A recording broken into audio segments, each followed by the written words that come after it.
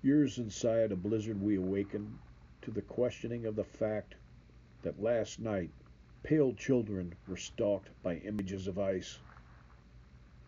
This morning it is seen the white axes of winter whirled until all oaths and prayers were split from our faces. There we fell, the cold hills drifting our shoulders.